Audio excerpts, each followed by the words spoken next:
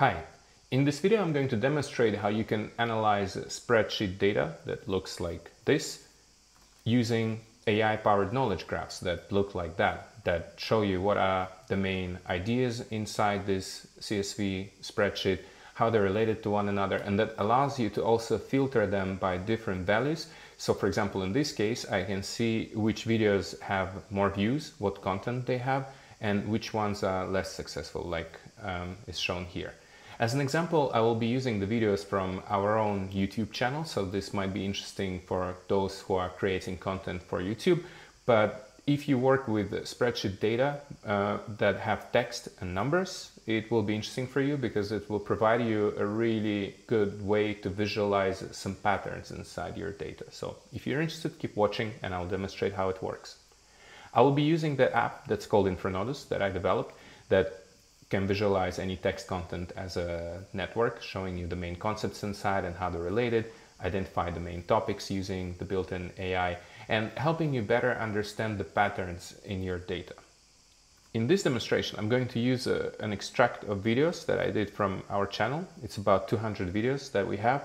And uh, the spreadsheet that you, you see right now on the screen contains the title, the description, the duration, and then uh, the number of views, the number of likes, and so on. So what I did, I actually created two additional columns. One is the relation of uh, views to likes, because I would like to see which videos get the most likes per views. So that is a kind of like a criteria of success, right? If people watch it and they like it, it means that, that they're really engaged. So that might be really good data to have.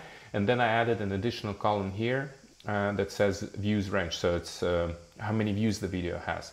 But instead of just using those numbers that I have in this column here, I actually created uh, ranges of those values. So I decided to make five of them, uh, less than 500 views, from 500 to 1000, 1000 to 5000, 5000 to 10,000, and more than 10,000. So I have five different categories, and my task is to explore what kinds of videos, what content actually gets the highest engagements and the highest view range, and which content also works less interestingly. So this is why I created those two columns. I have the CSV file, I save it as a CSV file, and then I go back to Infranodus.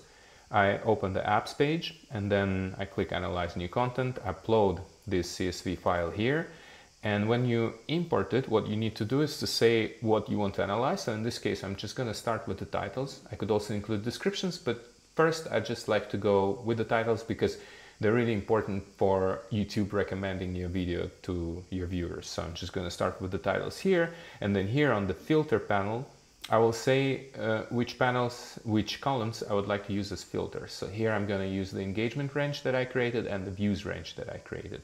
Then I click next save this graph with a new name, click visualize.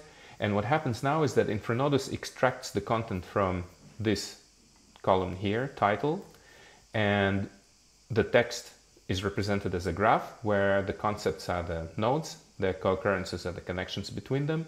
And then if the words or the concepts tend to appear in the same context, they will have the same color and they will be closer to each other. So this representation, which is called Force Atlas layout, allows me to see very clearly what are the main clusters of ideas, right? So if these are all the videos we have on our channel, this visualization provides me an overview of what this content is about. So I can see that it's about AI-powered graphs, then it's about text analysis here, keyword research, idea generation. So that kind of gives like a really nice overview of the content. I can also click here and see more topics. I'm also talking about AI chats, uh, creative thinking, content analysis, and so on.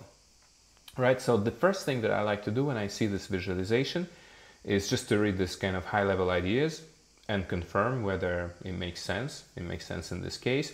I do make videos about AI graphs, text analysis, keyword research, and idea generation. But now I would like to ask the system, okay, what are the least popular videos? So I will select this filter category here, less than 500 views, and see how it's different from the rest. So I click here. I still have Infranodus because this is the name of the tool. I have market dynamics, text analysis, research, AI conversation. And then if I click on the videos that have more than 10,000 views, and actually if I click shift button, I can select several categories at once. So I'm also going to ask it to do 5,000 and 1,000.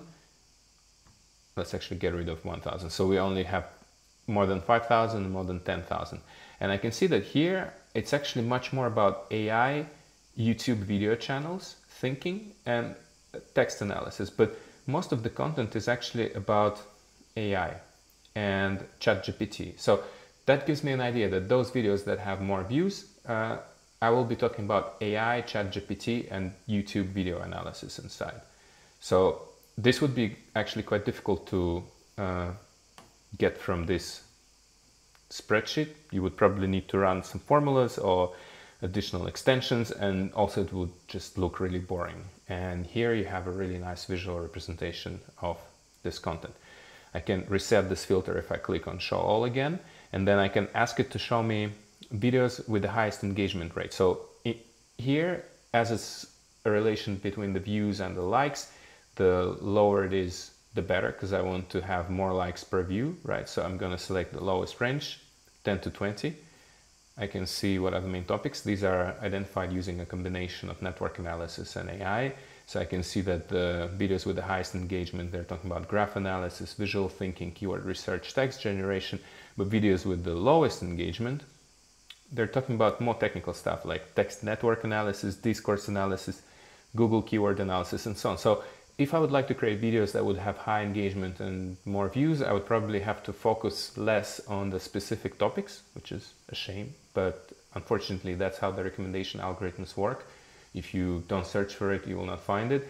So I would have to focus as a creator on those topics here that have higher engagement, right? Graph analysis, visual thinking, a bit of keyword research still, uh, AI and so on.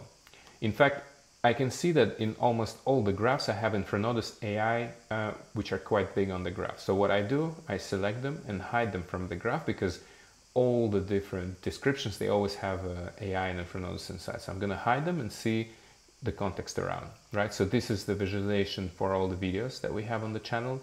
Text analysis, idea generation, Google research, knowledge graphs. Now let's try again to choose the ones with the lowest engagement here. So the higher is the number, the lower is the engagement. Marketing, knowledge graph, content generation, and text analysis are quite big. Highest engagement, okay. Knowledge graph is much higher engagement. Video uh, insights or YouTube insights, and file discovery or keyword research, but kind of connected to also analyzing files. So maybe CSV files, for instance, and so on. So that gives me a clear idea that if I want to make engaging videos that YouTube will push because it already probably learned all this uh, using its own algorithm. I have to focus on knowledge graphs, graph learning, uh, YouTube video insight. So that would be kind of like the two topics I would explore. And I can also confirm whether uh, it's true using this filter here. So let's see the most popular videos on the channel, what they're about. I select views that are more than 10,000. Again, knowledge graph, ChatGPT, YouTube and the least popular ones. So for example, ones that just have a, let's say, more than 500 but less than 1000 views. What are they about?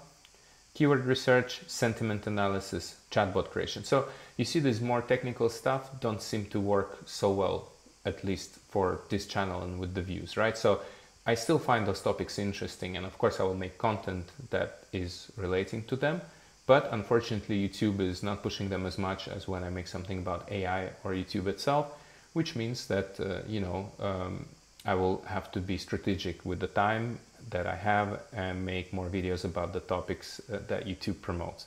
And maybe for those more niche topics, I can create articles on our website. So people who search for them really, they would still be able to find them. So this is how it would work as a general overview. Let me know if you have any questions about this process.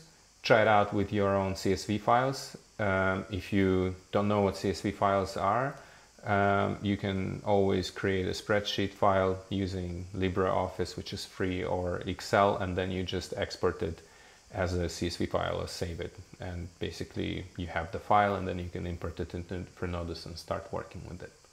I hope you found this helpful and I'm open to hear from you, your feedback, your questions, and your comments. Thank you.